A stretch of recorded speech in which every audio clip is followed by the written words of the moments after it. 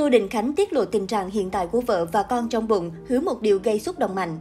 Tô Đình Khánh là chàng trai không chân nhận được nhiều sự cảm mến của mọi người vì những năng lượng tích cực mà anh mang đến. Không những vậy, anh còn tự viết lên một chuyện tình đẹp tựa cổ tích cùng bà xã Trần Thị Thương, 26 tuổi quê Bình Định. Cặp đôi càng hạnh phúc hơn nữa khi chuẩn bị đón chào một thiên thần nhí. Mới đây trên trang cá nhân của mình, anh chàng Tô Đình Khánh đã đăng tải một clip ngắn bày tỏ tình cảm ngọt ngào của mình đối với vợ và mong muốn dù ở đâu hai ta luôn có nhau.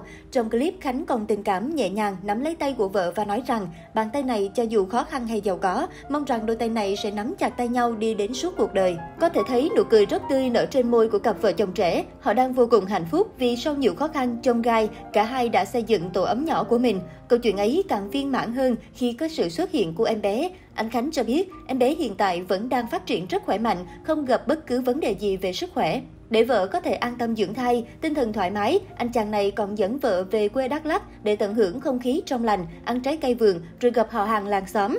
Đó mặc dù chỉ là những điều vô cùng bình dị trong cuộc sống, nhưng nó lại là liều thuốc tốt nhất cho tinh thần.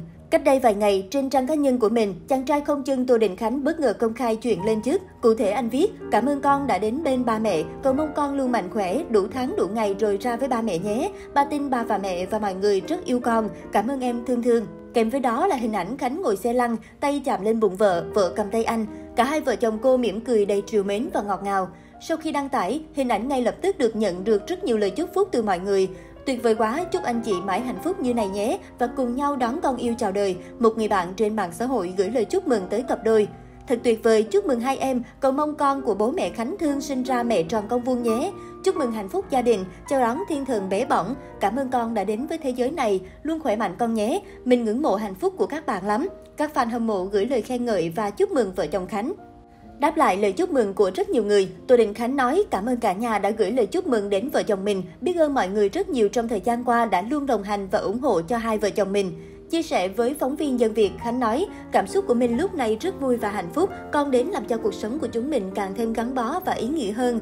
Thật may mắn, khi Thương mang bầu, sức khỏe của cô ấy cũng chưa bị xáo trộn nhiều. Mình sẽ đọc thêm sách vở và tài liệu để chăm sóc vợ thật chú đáo, để cả hai mẹ con được khỏe mạnh, bình an, Khánh nói. Được biết, đám cưới của Khánh và vợ là Trần Thị Thương, 26 tuổi quê Bình Định, đã diễn ra tại một nhà hàng ở thành phố Hồ Chí Minh vào tháng 10 vừa qua.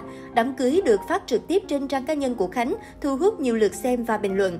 Năm 2018, Khánh không may bị mất đi đôi chân do mắc bệnh hiểm nghèo. Dù vậy, chàng trai không bỏ cuộc mà cố gắng phấn đấu, truyền cảm hứng cho nhiều người. Biết Khánh qua các video trên mạng xã hội, Thương tìm hiểu và bắt đầu có tình cảm với chàng trai. Sau 5 tháng hẹn hò, cặp đôi quyết định tiến đến hôn nhân.